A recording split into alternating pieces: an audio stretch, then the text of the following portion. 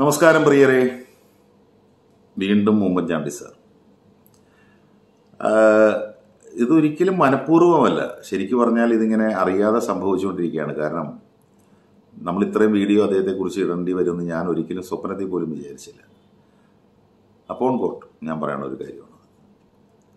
പക്ഷേ ഞാനിട്ട മൂന്ന് വീഡിയോകൾ അതെല്ലാത്തിനും ജനങ്ങൾ നൽകിയ ഒരു സപ്പോർട്ട് ഇപ്പോൾ ഇതിനു മുമ്പ് ഞാനിട്ട വീഡിയോ അദ്ദേഹം വാഴ്ത്തപ്പെട്ടവനാകുമോ അതിനും ഈ പറഞ്ഞ പോലെ ഒരുപാട് പേരെന്നെ വിളിച്ചു ഒരുപാട് പേരെന്നെ മെസ്സേജ് ഇട്ടു. കാരണം അവരൊക്കെ ചിന്തിച്ചൊരു കാര്യമാണ്.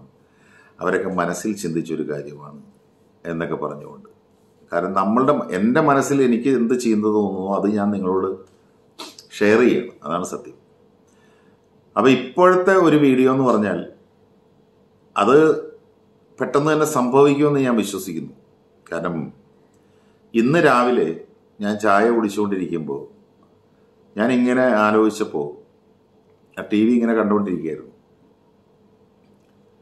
അപ്പോൾ ഇങ്ങനെ പെട്ടെന്ന് എന്റെ മനസ്സിലേക്ക് ഒരു സ്പാർക്ക് ഇങ്ങനെ കയറി വന്നു. അതായത് ഒരു ഒരു ചിന്ത. പെട്ടെന്ന് വീണ്ടും ഉമ്മൻചാണ്ടി സാറിന്റെ ഒരു സംഭവം വന്നപ്പോൾ ഞാൻ ഞാൻ സലാല മൊബൈൽസ് ഞാനിങ്ങനെ വെറുതെ ചാനൽ ഇങ്ങനെ മാറ്റി നോക്കിയപ്പോൾ ഏഷ്യാനെറ്റ് മൂവീസിലാണ് എന്ന് തോന്നുന്നു. അപ്പോൾ സലാല മൊബൈൽസ്. ഞാൻ ഞാനും കൂടെ അഭിനയിച്ചൊരു ചിത്രമാണ്.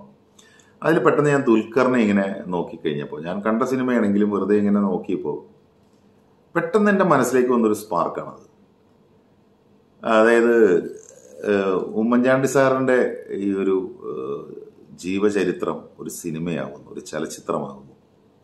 കാരണം ഇവിടെ പലരുടെയും അങ്ങനെ വന്നിട്ടുണ്ട്. പല വലിയ വലിയ ആളുകളുടെയൊക്കെ ഒരു ബയോ ഇത് മൂവി വന്നിട്ടുണ്ട്. നമ്മുടെ ജയസൂര്യനെ ചെയ്തില്ല നമ്മുടെ വളരെ അപ്പോൾ അതുപോലെ ഈ ഉമ്മൻചാണ്ടി സാറിന്റെ എന്തുകൊണ്ട് ആയിക്കൂടാ? അങ്ങനെ വന്നു കഴിഞ്ഞാൽ അതൊരു വലിയ ഒരു സംഭവമായിരിക്കില്ലേ? കാരണം ഇപ്പോൾ അദ്ദേഹം എന്ന് പറഞ്ഞാൽ മലയാളക്കരയ്ക്ക് അത്രയ്ക്ക് പ്രിയങ്കരനാണ്. അപ്പം ഞാൻ പെട്ടെന്ന് ദുൽഖറിനെ കണ്ടപ്പോൾ എനിക്ക് തോന്നിയത് ഉമ്മൻചാണ്ടി സാറായിട്ട് ദുൽഖർ നല്ല രസമായിരിക്കില്ലേ?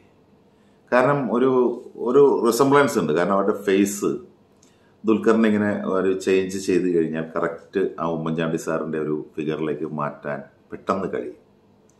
അതുമാത്രമല്ല അദ്ദേഹത്തിന്റെ ആ ഒരു ജീവിതത്തിലെ ഒരുപാട് ഘട്ടങ്ങൾ അതായത് ഒരു ഒരു വല്ലാത്ത പല പല എന്താ പറയുക പല പല പ്രതിസന്ധികളിലൂടെയും തീച്ചൂളകളിലൂടെയും ഒക്കെ പോയ ഒരു മനുഷ്യനാണ് അപ്പൊ അദ്ദേഹത്തിന്റെ ആ ഒരു പ്രതിസന്ധികളും കാര്യങ്ങളും ഒക്കെ ഒരു സിനിമയാക്കാൻ പ്രാപ്തമാണ് എന്ന് ഞാൻ വിശ്വസിക്കുന്നു.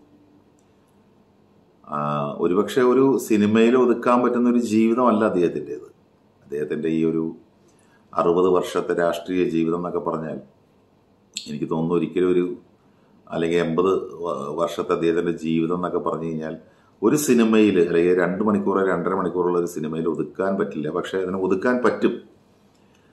അപ്പൊ ഇങ്ങനെ മനസ്സിലിങ്ങനെ ആ ഒരു കണക്കുകൂട്ടലുകൾ ഇങ്ങനെ വന്നുകൊണ്ടിരുന്നപ്പോൾ എനിക്ക് തോന്നിയ കുറച്ച് കാര്യങ്ങളാണ് ഞാൻ നിങ്ങളോട് ഷെയർ ചെയ്യുന്നത്. തീർച്ചയായിട്ടും നിങ്ങളുടെ അഭിപ്രായം കൂടി ഞാൻ ചോദിക്കുകയാണ്. വേറെ ഒന്നുമല്ല ഇതൊക്കെ നമുക്ക് ചെയ്യാൻ പറ്റുന്ന കാര്യങ്ങളല്ല. ഇത് മലയാള സിനിമയിലെ പ്രതിപാദനന്മാർക്കൊക്കെ ആലോചിക്കാവുന്ന കാര്യമാണ് ചെയ്യാൻ പറ്റുന്ന കാര്യമാണ്. ഒരുപക്ഷെ ഒരു പാൻ ഇന്ത്യൻ മൂവി ആവാം ഒരു ഇന്ത്യ മുഴുവൻ ശ്രദ്ധിക്കപ്പെടുന്ന ഒരു മൂവിയായി മാറേണ്ട ഒരു ഒരു ഒരു സംഭവമായിട്ട് ചിലപ്പോൾ വരാം. ചിലപ്പോഴല്ല തീർച്ചയായിട്ടും വരും. കാരണം ഒരു പാൻ ഇന്ത്യൻ നടൻ കൂടിയാണ് ദുൽഖർ സൽമാൻ. അപ്പോൾ ദുൽഖർ ഇങ്ങനെ വരുന്നു. അപ്പോൾ എന്റെ എന്റെ മനസ്സിൽ ഇങ്ങനെ ആലോചിക്കാം. അപ്പോൾ അദ്ദേഹത്തിന്റെ എന്തൊക്കെയാണ് ഇങ്ങനെ കാര്യങ്ങൾ ഇങ്ങനെ വെറുതെ ഇങ്ങനെ മനസ്സിൽ കണക്കൂട്ടി. കണക്ക് കൂട്ടി കഴിഞ്ഞപ്പോൾ എനിക്ക് തോന്നിയത് ഇത് ഈ ഇദ്ദേഹത്തിന്റെ ഈ ഇപ്പോഴത്തെ ഈ ഒരു കവറടക്കം ചെയ്ത കല്ലറയിൽ നിന്ന് ഈ സിനിമ ആരംഭിക്കുകയാണ്.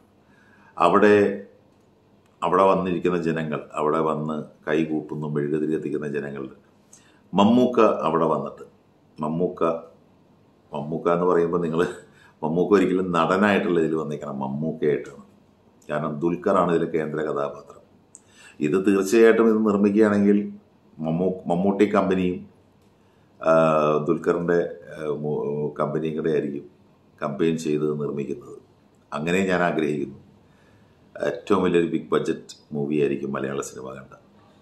അപ്പോൾ അവിടെ കല്ലറയിൽ പുഷ്പങ്ങൾ അർപ്പിച്ചിട്ട് മമ്മൂക്ക പറയുന്ന സ്ക്രീനിൽ പറയുന്ന സ്ക്രീനിൽ പ്രസന്റ് ആയിട്ട് പറയുന്ന കാര്യങ്ങളുണ്ട് അതായത് ഈ പുതുപ്പള്ളിയിൽ ഉമ്മൻചാണ്ടി സാറിന്റെ ആ ഒരു ജനനം ആ ഒരു കാര്യങ്ങൾ ബാല്യം കൗമാരം അതൊക്കെ ഇങ്ങനെ പറഞ്ഞ് ശൈശവവും ബാല്യവും കൗമാരവും ഒക്കെ പറഞ്ഞ് അദ്ദേഹം രാഷ്ട്രീയത്തിലേക്ക് വരുന്നത് വരെ ഒരു നല്ല രീതിയിലുള്ള ഒരു പ്രസന്റ് വിഷ്വൽ നരേഷൻ നൽകിയിട്ട്.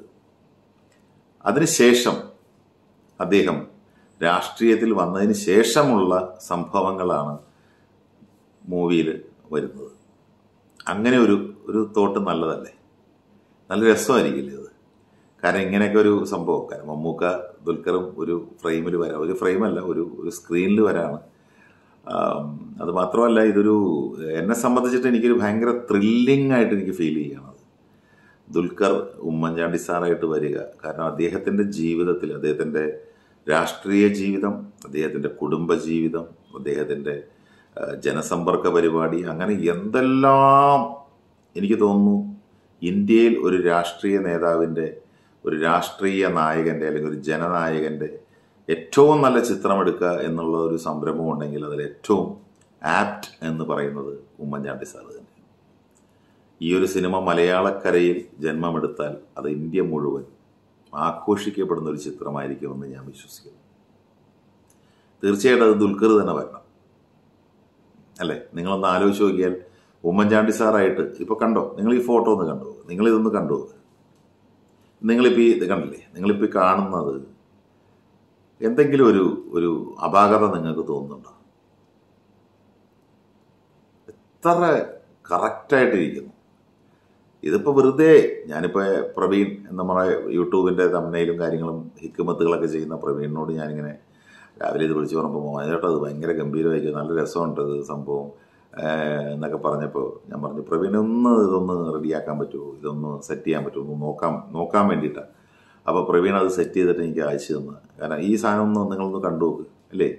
കണ്ടില്ലേ? നിങ്ങളപ്പോൾ നിങ്ങൾക്ക് തന്നെ തോന്നുന്നില്ലേ? കൃത്യമായിരിക്കും. കാരണം ആ ഒരു ശരീരവും ആ ഒരു മുഖവും ഒക്കെ ഉമ്മൻചാണ്ടി സാറിന് ആപ്റ്റാണ് പിന്നെ ദുൽഖർ എന്ന് പറയുന്ന ഒരു അഭിനയ പ്രതിഭയെ സംബന്ധിച്ചിടത്തോളം ഇതിലേക്ക് വരാനായിട്ട് വലിയ വിഷമമൊന്നും ഉണ്ടാവില്ല. നല്ലൊരു ചാലഞ്ചായിരിക്കും ഒരുപക്ഷെ ദുൽഖറിന്റെ അഭിനയ ജീവിതത്തിലെ ഏറ്റവും ചാലഞ്ചിങ് ആയിട്ടുള്ള ഒരു ക്യാരക്ടറായിരിക്കും കാരണം ആ ചെറുപ്പം മുതൽ വയസ്സായി അന്ത്യനിമിഷം വരെയുള്ള രംഗങ്ങളാണ്.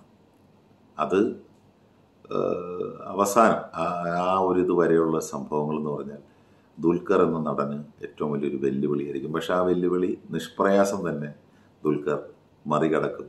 കാരണം അത്രത്തോളം അഭിനയ പാഠവും അഭിനയ സിദ്ധി ആ ചെറുപ്പക്കാരനുണ്ട്. അതാണ് സത്യം. അപ്പോൾ എനിക്ക് എന്റെ ഒരു മനസ്സിൽ തോന്നിയ ഒരു കാര്യം ഞാൻ നിങ്ങളോട് പറഞ്ഞെന്നുള്ളൂ. ഇതൊരു സംഭവമായിരിക്കില്ലേ? ഇത് മലയാള ചലച്ചിത്ര മേഖല ശ്രദ്ധിക്കുമെന്ന് ഞാൻ വിശ്വസിക്കുന്നു. കാരണം രാഷ്ട്രീയത്തിലെ ഈ ഒരു പകരം വയ്ക്കാനില്ലാത്ത അല്ലെങ്കിൽ എന്താ പറയുക നമുക്ക് അദ്ദേഹത്തെക്കുറിച്ച് പറയുമ്പോൾ തന്നെ സാധാരണത്വത്തെ അസാധാരണമാക്കിയ പ്രതിഭ അല്ലെങ്കിൽ മഹാമനുഷ്യൻ. സാധാരണത്വത്തെ അസാധാരണമാക്കിയ. ഇതൊക്കെ മമ്മൂക്കയുടെ ഒരു പ്രസൻസിൽ മമ്മൂക്കയുടെ ഗാംഭീര്യ ശബ്ദത്തിലൊക്കെ വന്നു കഴിഞ്ഞാൽ എന്തായിരിക്കും? ഒന്നും പറയാനില്ല. ഇതാണ് എന്റെ മനസ്സിൽ തോന്നിയ ഒരു കാര്യം. എനി- എനിക്ക് ഉമ്മൻചാണ്ടി സാറിനെ കുറിച്ച് പറയുമ്പോൾ ഈ ഒരു സിനിമ മലയാള സിനിമയിൽ വരണം. ഇത് അദ്ദേഹത്തിന് രാഷ്ട്രീയത്തിലെ ഈ അധികായന് ഈ ഒരു ജനപ്രിയ നായകന് ജനനായകന് കലാലോകം കൊടുക്കുന്ന ഏറ്റവും വലിയ ട്രിബ്യൂട്ടായിരിക്കും എന്ന് ഞാൻ വിശ്വസിക്കുന്നു. മലയാള സിനിമാ ലോകം കൊടുക്കുന്ന ഏറ്റവും വലിയ ട്രിബ്യൂട്ട് പ്രത്യേകിച്ച് മമ്മൂക്കയ്ക്ക് ഉമ്മൻചാണ്ടി സാറിനോടുള്ളൊരു ആത്മബന്ധം എന്റെ കൂട്ടുകാരൻ. പ്രിയപ്പെട്ട ഒരാൾ അപ്പോൾ അതൊക്കെ ഇതിന്റെ അകത്ത് ഇങ്ങനെ കൂട്ടി നമുക്ക് ചേർക്കാൻ പറ്റുന്ന കാര്യങ്ങളാണ്. ഇത് ഞാനൊന്ന് നിങ്ങളെ അറിയിച്ചെന്നുള്ളൂ. നിങ്ങളുടെ വിലയേറിയ അഭിപ്രായങ്ങൾ അറിയിക്കുക. കാരണം ഒരുപക്ഷെ മലയാള സിനിമ ഷൂട്ടിംഗ് തുടങ്ങുന്നതിന് മുമ്പ് തന്നെ ഏറ്റവും വലിയൊരു വിജയ ചിത്രം എന്നുള്ളൊരു ഒരു ഒരു റെക്കോർഡ് കൂടി ചിലപ്പോൾ ഈ ഒരു സിനിമയ്ക്കുണ്ടാവും. ഇത് നിർമ്മിച്ച് ഇത് പുറത്തിറങ്ങിക്കഴിഞ്ഞാൽ സർവകാല റെക്കോർഡും തകർത്ത് ഈ സിനിമ മുന്നേറുന്നുള്ള കാര്യത്തിൽ എനിക്ക് ഒരു തർക്കവുമില്ല ഞാൻ നിസ്സംശയം പറയാം ഈ സിനിമ ഒരു മലയാള സിനിമ കണ്ട അല്ലെങ്കിൽ ഒരുപക്ഷെ ഇന്ത്യൻ സിനിമ കണ്ട വലിയ വിജയങ്ങളിലേക്ക് ഈ സിനിമ കുതിക്കും ഇൻഷാള്ള അപ്പം ഞാനിത് പറഞ്ഞു എന്നുള്ളൂ. ബഹുമാനപ്പെട്ട ചലച്ചിത്ര മേഖലയിലുള്ളവർ ശ്രദ്ധിക്കുമെന്ന് ഞാൻ വിശ്വസിക്കുന്നു. എസ്പെഷ്യലി എന്റെ പ്രിയപ്പെട്ട മമ്മൂക്കയും പ്രിയപ്പെട്ട ഡി ക്യു. നിങ്ങൾ നിങ്ങളുടെ കയ്യിലാണ്. നിങ്ങളിത് ഏറ്റെടുക്കണം. നിങ്ങളിതൊരു വലിയ സംരംഭമായിട്ട് അല്ലെങ്കിൽ ഒരു ഇതിഹാസമാക്കി മാറ്റണം എന്ന് ഞാൻ കൈകൂപ്പി അപേക്ഷിക്കുകയാണ്. ഞാൻ ഒരുപാട് ആഗ്രഹത്തോടെ കാത്തിരിക്കുന്നു. കാരണം മലയാള സിനിമയിൽ ഒരുപാട് താരങ്ങളെ ഇതിന്റെ അകത്ത് ഉൾപ്പെടുത്തിയിട്ട്. അതായത് ഒരു ഞാൻ പറഞ്ഞില്ല ഒരു ഇനി ഇനി ഇനി ഇനി ഇതിന്റെ അപ്പുറത്തേക്ക് ഒരു സിനിമ ഇല്ല എന്നുള്ളൊരു ഇതിന്റെ അപ്പുറത്തേക്ക് ഒന്നുമില്ല എന്ന് ചിന്തിക്കുന്ന തലത്തിലേക്ക് ഈ സിനിമയെ കൊണ്ടെത്തിക്കണം എന്നാണ് ഞാൻ ആഗ്രഹിക്കുന്നത്. ഇതും അദ്ദേഹത്തിന് കൊടുക്കേണ്ട ഏറ്റവും വലിയൊരു വലിയ ട്രിബ്യൂട്ടാണ് നമുക്ക് കേൾക്കണം. പ്ലീസ് ദയവായി D Q O C I D Q അതിന് ടൈറ്റിൽ കൊടുക്കുമ്പോൾ എന്തൊക്കെ നല്ല ടൈറ്റിലുകളുണ്ട് അല്ലേ? യുഗപുരുഷൻ കുഞ്ഞുഞ്ഞ്. ഹിസ്റ്റോറിക്കൽ ഹീറോ കുഞ്ഞുഞ്ഞ്. അങ്ങനെ പല ടൈറ്റിലും ടൈറ്റിലൊക്കെ ഈ പറഞ്ഞ മാതിരി പല രീതിയിലും നമുക്ക് എടുക്കാൻ പറ്റുന്ന സാധനങ്ങളാണ്. അപ്പോൾ ഇത് ഞാൻ നിങ്ങളൊന്ന് അറിയിച്ചെന്നുള്ളൂ എന്റെ ഒരു സന്തോഷം എന്റെ മനസ്സിന്റെ ഒരു ഒരു ഒരു ഒരു ചിന്ത നിങ്ങളെ അറിയിച്ചെന്നുള്ളൂ തീർച്ചയായിട്ടും ഇത് സത്യമാവട്ടെ പ്രാവർത്തികമാവട്ടെ നമ്മൾക്കിത് കാണാനുള്ളൊരു ഉത്സവമായി മാറട്ടെ എന്നുകൂടി ഞാൻ ചിന്തിക്കുന്നു. കാരണം സെന്റിമെൻസും എല്ലാം കാരണം അദ്ദേഹം വളരെയധികം ക്രൂശിക്കപ്പെടുമ്പോൾ അദ്ദേഹം അദ്ദേഹം ചെയ്യാത്ത തെറ്റിന് ക്രൂശിക്കപ്പെടുമ്പോൾ പോലും അദ്ദേഹം പുറമേ ആരോടും കാണിച്ചിട്ടില്ല. പക്ഷെ ഉള്ളിൽ അദ്ദേഹം അനുഭവിക്കുന്ന വേദന ഇതൊക്കെ നമുക്ക് ഇതിന്റെ അകത്ത് പ്രതിഫലിപ്പിക്കാൻ പറ്റും. അതുപോലെ ഈ ജനസമ്പർക്ക പരിപാടിയിലുള്ള അദ്ദേഹത്തിന്റെ കാര്യങ്ങൾ അങ്ങനെ ഒരുപാട് കാര്യങ്ങളുണ്ട്. അതാണ് ഞാനിപ്പോൾ എടുത്തെടുത്ത് ഞാൻ പറയുന്നത്. അദ്ദേഹത്തിന്റെ ആ ഒരു പ്രവർത്തന മേഖലയെ ഒരു ബ്രില്യന്റ് ആയിട്ടുള്ള സ്ക്രിപ്റ്റ് റൈറ്റർ ബ്രില്യന്റ് ആയിട്ടുള്ള ഡയറക്ടർ ഇതൊക്കെ കൂടി അങ്ങോട്ട് ചേരുമ്പോഴാണ് ഇതിനെ വല്ലാത്തൊരു തലത്തിലേക്ക് എത്തിക്കാൻ കഴിയുക എന്ന് ഞാൻ വിശ്വസിക്കുന്നു. അതെന്റെ ഒരു അഭിപ്രായം ഞാൻ പറഞ്ഞെന്നുള്ളൂ. എല്ലാവർക്കും എല്ലാ നന്മകളും നേരുന്നു. ഈ സിനിമ സത്യമാവട്ടെ കുഞ്ഞുഞ്ഞ് എന്ന് പറഞ്ഞ ഈ സിനിമ സത്യമാവട്ടെ എന്ന് ഞാൻ പ്രാർത്ഥിക്കുകയാണ്. Thank you.